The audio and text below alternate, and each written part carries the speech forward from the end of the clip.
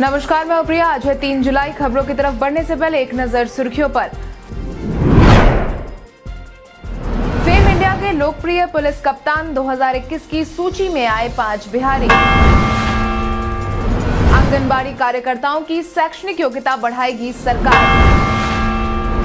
बिहार के कई जिलों में जारी हुआ येलो अलर्ट तो कई जिलों में है ऑरेंज अलर्ट।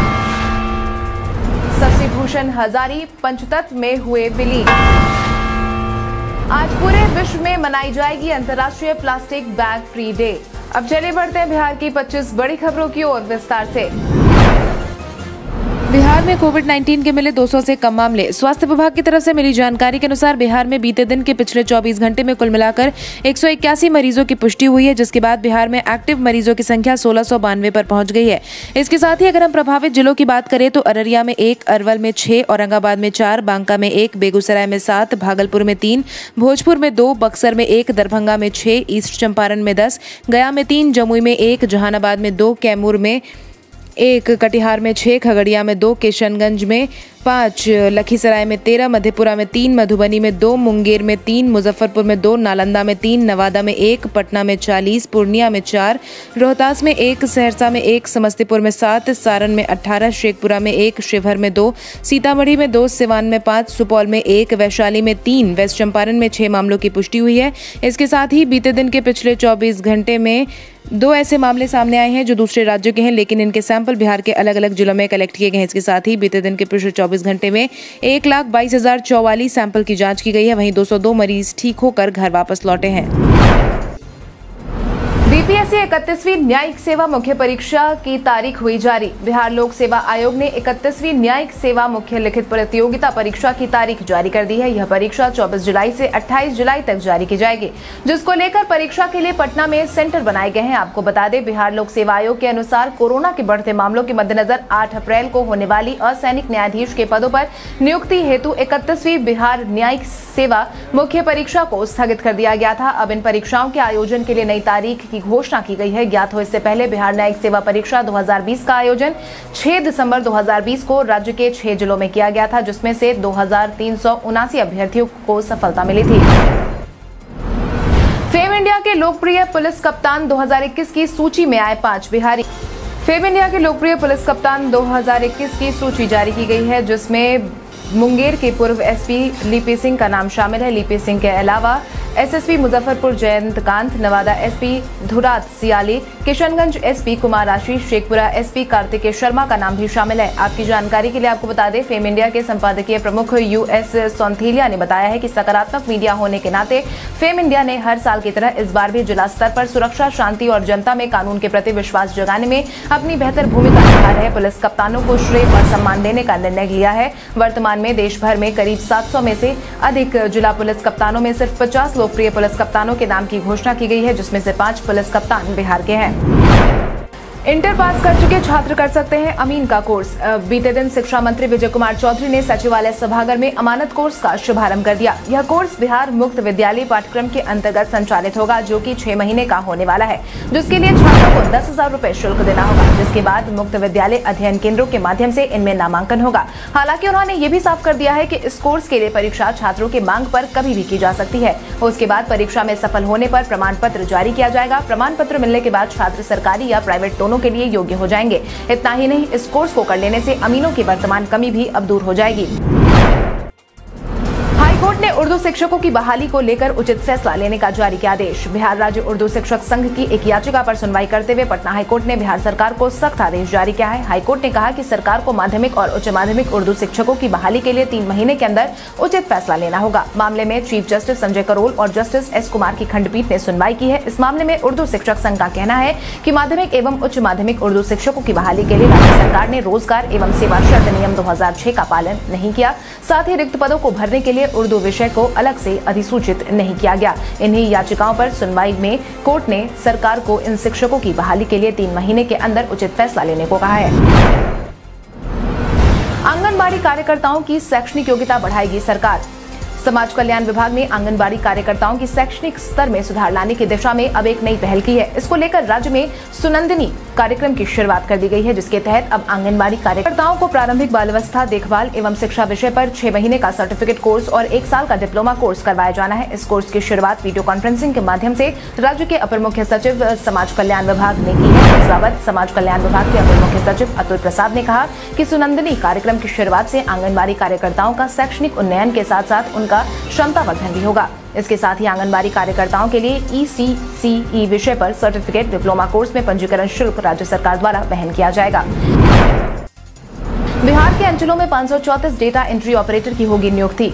20 जुलाई से पहले राजस्व एवं भूमि सुधार विभाग के अपर मुख्य सचिव विवेक कुमार सिंह ने आधुनिक अभिलेखागार सह डेटा केंद्रों को संचालित करने का आदेश दिया है। बेल्ट्रॉन के ज़रिए पाँच डेटा एंट्री ऑपरेटर की नियुक्ति को लेकर सारी जानकारी ले ली गई है। आपकी जानकारी के लिए आपको बता दें 120 अंचलों में जुलाई के अंतिम सप्ताह तक मॉडर्न रिकॉर्ड रूम संचालित करने का लक्ष्य दिया गया है। इसके लिए बेल्ट्रॉन से पाँच डेटा एंट्री ऑपरेटर की सेवाएँ मांगी गई थी। इनकी नियुक्ति के लिए विज्ञापन जारी कर दिया जा चुका है। जल्द ही इन कर्मियों को अंचलों में पदस्थापित कर दिया जाएगा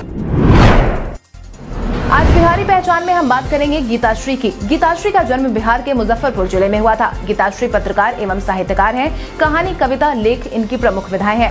लाइव इंडिया वेबसाइट की संपादक गीताश्री, आउटलुक पत्रिका के सहायक संपादक तथा बिंदिया पत्रिका की संपादक भी रही है। गीता ने अपने जीवन काल में कविता, जितना हक औरत की बोली, स्त्री आकांक्षा के मानचित्र, नागपाश में स्पेस लेखिकाएँ और राजेंद्र यादव संपादन, प्रार्थना के बाहर और अन्य कहानियाँ सोन मछली नामक कई रचनाएँ की हैं।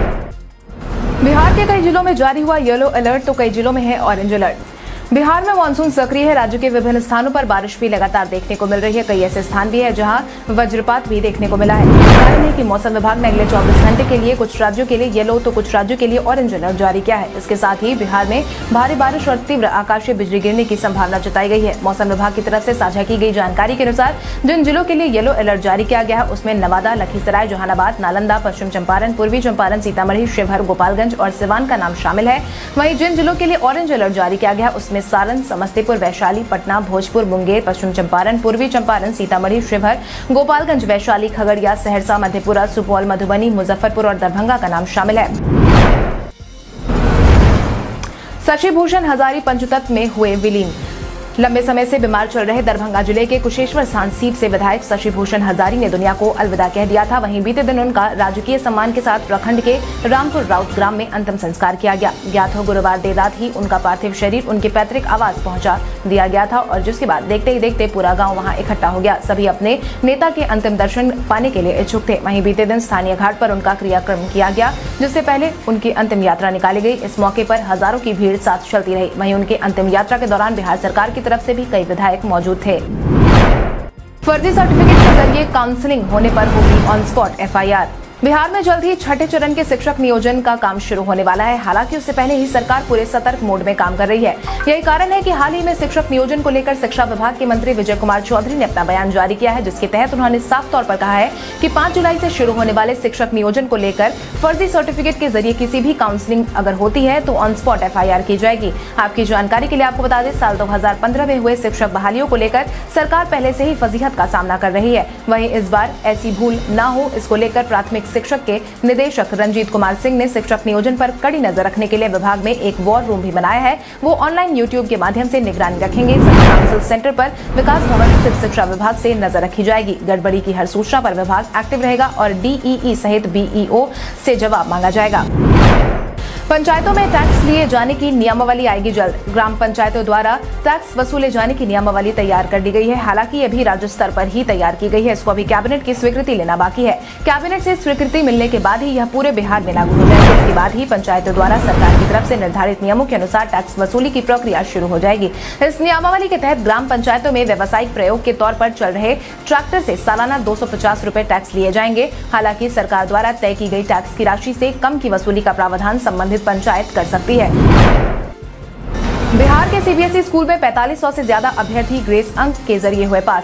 बिहार में कोरोना के माहौल में सीबीएसई परीक्षार्थियों को ग्रेस मार्क्स का भरपूर फ़ायदा मिला है। यही कारण है कि ग्रेस मार्क्स से सीबीएसई के 4,655 परीक्षार्थी पास हो गए हैं। इतना ही नहीं खबर तो ये भी है कि सीबीएसई की तरफ़ से छह सौ पैंसठ छात्रों को पाँच मार्क्स तक का ग्रेस अंक दिया गया है। सीबीएसई की तरफ़ से मिली जानकारी के अनुसार राज्य में कुल सीबीएसई के मान्यता प्राप्त ग्यारह स्कूलों में पाँच ऐसे स्कूल है जहाँ पर ग्यारहवीं की वार्षिक परीक्षा चार छात्रों को ग्रेस अंक दिया गया है। आंकड़ों पर गौर करें तो ज़्यादातर स्कूलों में आठ से दस छात्र ग्यारहवीं में फेल थे, लेकिन 2020 के कोरोना संक्रमण के कारण इन्हें अगली कक्षा में प्रमोट कर दिया गया था।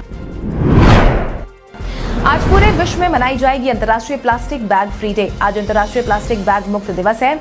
जागरूकता फैलाने के लिए ये दिवस तो घोषित कर दिया गया, लेकिन बढ़ते प्रदूषण और आने वाली पीढ़ी के लिए लगातार बढ़ते खतरे को लेकर अभी भी सजग नहीं हुई है। लगातार प्लास्टिक का इस्तेमाल बढ़ता ही जा रहा है। ऐसे में बिहार सरकार की तरफ़ से भी हाल ही में प्लास्टिक पर रोकथाम लगाने के लिए ज़रूरी कदम उठाए गए हैं। इसको लेकर बिहार में सिंगल यूज़ प्लास्टिक का निर्माण और उपयोग करते हुए पकड़े जाने पर पंद्रह दिसंबर से एक लाख रूपए तक का जुर्माना या पाँच साल तक की या दोनों तरह का दंड मिल सकता है, जिसके तहत सिंगल यूज़ प्लास्टिक या थर्मो थर्मोकॉल से सामग्री बनाने वाले थोक विक्रेता, क्रेता, दुकानदार और फेरी वाले को चौथा दिसंबर 2021 तक अपना स्टॉक खत्म कर देना होगा।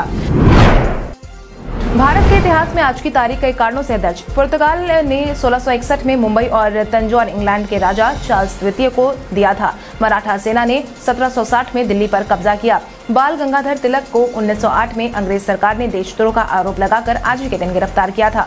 कोलकाता में दूसरे हावड़ा पुल के नाम से मशहूर विद्यासागर सेतु का निर्माण उन्नीस सौ उनासी में हुआ। महेश भूपति और मेरी पियर्स ने 2005 में विम्बलडन टेनिस का मिश्रित युगल खिताब आज के दिन जीता। हिंदी फ़िल्म अभिनेता राजकुमार का निधन उन्नीस सौ छियानवे में आज के दिन हुआ था। इसके साथ ही मुगल बादशाह जहाँ का पुत्र शाह सुजा, मुगल का जन्म 1616 में आज के दिन हुआ था।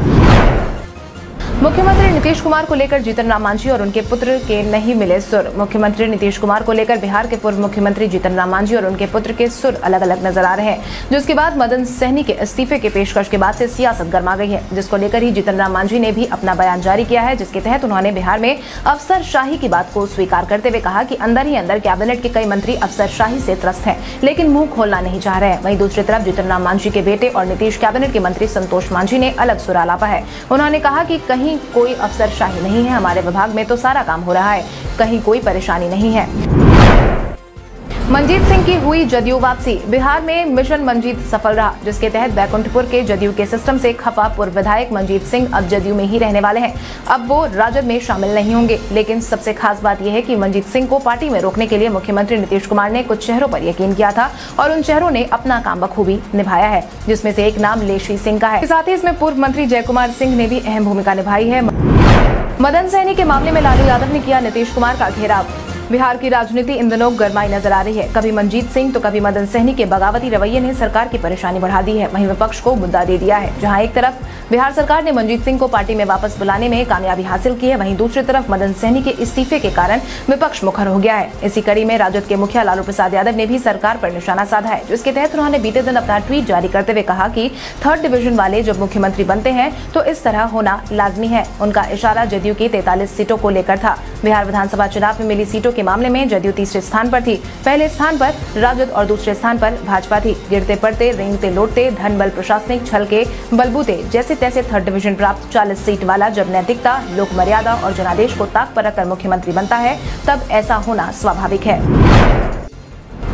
पटना पहुँचते ही चिराग को पशुपति पारस ने दी नसीहत। लोजपा में जारी पारिवारिक और राजनीतिक कलह के बीच लोजपा के नवनियुक्त अध्यक्ष राजधानी पटना पहुँचे, जहाँ पहुँचते उन्होंने अपने भतीजे उर्फ़ चिराग पासवान को दो टूक नसीहत दी, जिसके तहत रामविलास पासवान की जयंती को लेकर बिहार आए पशुपति पारस ने कहा की चिराग पासवान रामविलास जी के बेटे हैं, उनको भी जयंती मनाने का अधिकार है। मैं रामविलास पासवान जी का भाई हूँ, मेरा भी अधिकार है। मैं भी अपने स्तर से आयोजन करूँगा। वहीं चिराग की आशीर्वाद यात्रा के बारे में पूछे जाने पर उन्होंने कहा कि उनकी आशीर्वाद यात्रा निकालना अच्छी बात है। हालाँकि उनको आशीर्वाद यात्रा निकालने से अच्छा श्रद्धांजलि सभा का आयोजन करना चाहिए। जब रामविलास जी रहे ही नहीं तो किस बात का आशीर्वाद यात्रा? इतना ही नहीं, उन्होंने आगे यह भी कहा कि जमुई चिराग की कर्मभूमि है, इसलिए उन्हें हाजीपुर के बजाय जमुई से आशीर्वाद यात्रा की शुरुआत करनी चाहिए।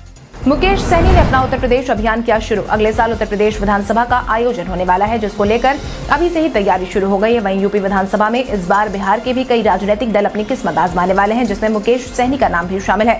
मुकेश सैनी ने तो उत्तर प्रदेश विधानसभा को लेकर अपनी तैयारी भी शुरू कर दी है। इस बाबत बीते दिन ही मुकेश सैनी उत्तर प्रदेश दौरे पर निकले। यूपी दौरे पर पहुँचे मुकेश सैनी ने वहाँ अपनी पार्टी के विधानसभा चुनाव लड़ने और आगे की रणनीति पर स्थानीय नेताओं के साथ चर्चा की, जिसके बाद अब मुकेश सैनी आरक्षण, नहीं तो गठबंधन, नहीं नारे के साथ उत्तर प्रदेश का चुनावी बिगुल फूक चुके हैं। सलमान के बाद के ने की अक्षय कुमार की खिंचाई।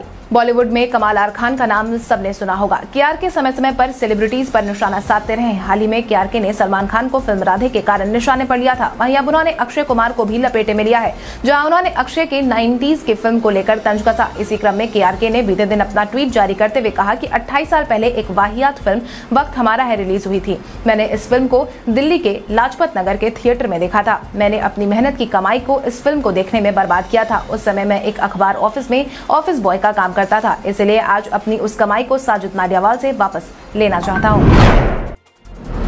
माना पटेल ओलंपिक क्वालिफाई करने वाली बनी पहली महिला। आज के समय में घर से लेकर खेल के क्षेत्र में महिलाओं का बोलबाला देखने को मिला है। इसी कड़ी में हाल ही में भारत की एक और महिला ने देश का मान बढ़ाने का काम किया है, जिसके तहत माना पटेल ने यूनिवर्सिटी कोटा के माध्यम से आगामी टोक्यो ओलंपिक के लिए क्वालिफाई कर लिया है। ऐसा करने वाली वो पहली भारतीय महिला बन गई है, जिसके तहत माना तीसरी भारतीय तैराक है, जो टोक्यो दो हज़ार बीस में हिस्सा लेंगी। क्यूँकी इससे पहले श्रीहरि नटराज और साजन प्रकाश ने ओलंपिक में अपनी योग्यता के चलते स्थान बनाया था। माना की इस उपलब्धि पर खेल मंत्री किरण रिजिजू ने भी बधाई दी है।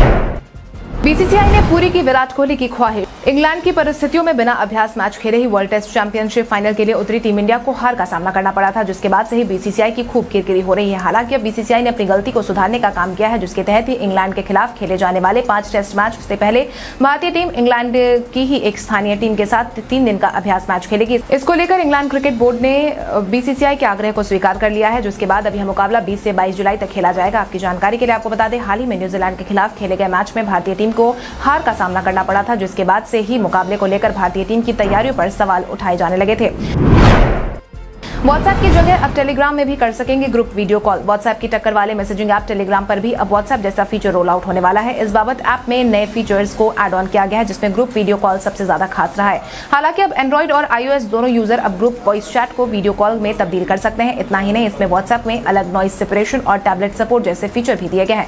कंपनी की तरफ़ से मिली जानकारी के अनुसार अभी ग्रुप कॉलिंग के लिए मेंबर्स की संख्या तीस ही होगी। हालाँकि बाद में इसे बढ़ाया जा सकता है, जिसके तहत अब नए फीचर्स के आ जाने के बाद यूज़र अब किसी भी ग्रुप में वॉइस चैट को ग्रुप वीडियो कॉल में बदल सकेंगे।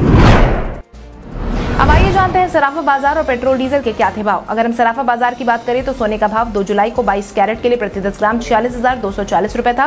वहीं 24 कैरेट के लिए प्रति दस ग्राम सैंतालीस हज़ार दो सौ चालीस रुपए था। इसके साथ ही अगर हम चांदी की बात करें तो चांदी का भाव प्रति किलो अड़सठ हज़ार पाँच सौ रुपए था। इसके साथ ही राजधानी पटना में पेट्रोल की कीमत एक सौ एक दशमलव चार नौ रुपए प्रति लीटर और डीजल चौरानवे दशमलव सात आठ रुपए प्रति लीटर था। कल हमारे द्वारा पूछे गए सवाल का जवाब आप में से बहुत सारे यूज़र ने हमें कॉमेंट करके दिया था। उसके लिए आपका बहुत बहुत धन्यवाद। आप में से जिन यूज़र का कमेंट हमें अच्छा लगा है, उनके नाम है जगदीश राम, विनीत भारती, शारदा सिन्हा, संजीव कुमार, भारत प्रसाद, आदर्श अनुज, रमेश यादव, पुरुषोत्तम कुमार, सुशील कुमार यादव, श्वेता रॉय प्रदीप, सोनम कुमारी, मोहम्मद मुरसलीन पटेल, युवा मंच राहुल कुमार। इसके अलावा हमारी टीम को और भी लोगों के जवाब अच्छे लगे हैं, मगर समय के अभाव के कारण हम उनका नाम नहीं ले पाए। लेकिन आप हमारे सवालों का जवाब देते रहे, हम कल आपका नाम लेने की पूरी कोशिश करेंगे। तो चले बढ़ते हैं आपके सवाल की और आज का सवाल कुछ इस प्रकार है। आपके अनुसार प्लास्टिक के इस्तेमाल पर नियंत्रण लाने के लिए बिहार में कौन कौन से कदम उठाए जाने की ज़रूरत है? अपने जवाब हमें कमेंट करके ज़रूर बताएँ। इसके साथ ही आज के लिए बस इतना ही। देश विदेश की तमाम बड़ी खबरों से जुड़े रहने के लिए हमारे यूट्यूब चैनल को सब्सक्राइब करें और बेलाइकॉन दबाना ना भूलें। धन्यवाद।